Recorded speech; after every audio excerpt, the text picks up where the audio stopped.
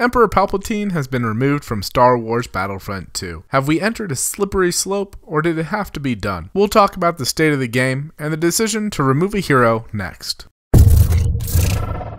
We've entered an interesting situation. A hero has been removed from Star Wars Battlefront 2 temporarily. While I'm sure there's tons of doomsayers blowing up everything they can, and then there are those defending EA and DICE until the end, then there's us, just trying to figure out where to go from here. Personally, I'm torn on the decision to remove Palpatine. He was broken and honestly game breaking, able to take out anyone, anywhere, even through walls. Something had to be done to bring balance back to the Force. Ideally, we would get a quick fix to revert back things that were changed from the patch, but that would require a client side update, and that's not a very fast process. Releasing a patch takes getting approval from first party systems like Sony and Microsoft, and the process normally takes a few days. Not to mention having to test in house, not that EA or DICE would, but again, ideally, you would want to test any client side or server side updates in house to prevent any further bugs. At the earliest, we'd be looking at about a week of Palpatine ruining the experience for everyone he plays against. Having something so broken makes it so one player can basically win the match, and having it stay a few days, let alone a week, could really kill a player base. Even last night, I was debating on whether to stream Battlefront 2 or not, since all the games that I played on Wednesday resulted in frustration when playing on the light side if one player playing Palpatine could basically win the match for the opposing side. With the removal of Palpatine, however, when we streamed last night, we did notice sometimes where it would have been nice to have a Palpatine to help clear out some rooms and choke points but overall, the experience wasn't that frustrating to play, and it felt like a normal night of Star Wars Battlefront 2. On the other side,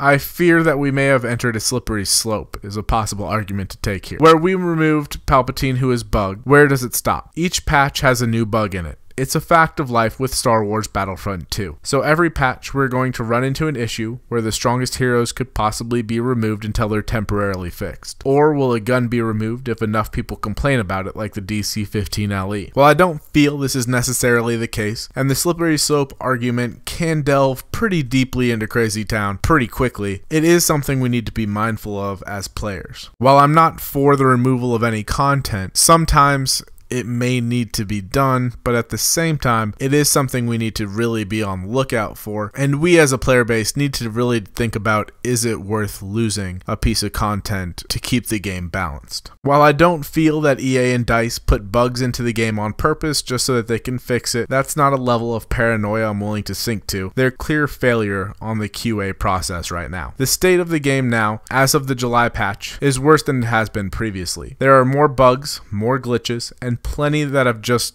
become part of the landscape, they've been around for so long. With that, I do not feel that Star Wars Battlefront 2 is beyond saving. A quick fix to this current issue and a solid patch with no game breaking bugs like the DC 15 LE or Palpatine glitches that have come out recently, this game can be back on its feet. It's just been knocked down a little. Double XP this weekend is also a decent start for recovery. While it won't help a lot of players that have been playing since the release, like myself, who have everything almost maxed out, it will give newer players a chance to to catch up, which helps with the longevity of the player base. There are other things changing as well. Ben has said that there's going to be some changes to the stamina coming in a hotfix, as well as the hard lock bug for Starfighter. There's no ETA for these bugs, but there is a quick recognition that there was a mistake that was made, which is progress from EA's usual silence on these matters. Well, I know this was short, but I'm going on vacation tomorrow, so my motivation is somewhere. While I'm gone, though, go over to Moonbilge over on Twitch. He'll be taking over the Greenie Weenie Brigade invites on Tuesdays, Thursdays, and really any night he streams. You know, you don't need to just play Tuesdays and Thursdays. So be sure to add him to your friends list so that way you can get your invite. And then also check out his stream on Monday. I'll be putting out a video of other YouTube channels you should really check out if you haven't already. These channels are going to be around 10,000 subs or less and definitely deserve more attention for the content that they put out. And since we're all about community on this channel, I really want to show some some love and show some support to channels like myself who are starting out or just growing. Since the stronger the community is, the better this game can become. I greatly appreciate your guys' time. I hope you have a great week. I will be away from my phone and computers. Well, I'm going to try. I may have an addiction but we'll keep that between us. And remember, I'll see you in game.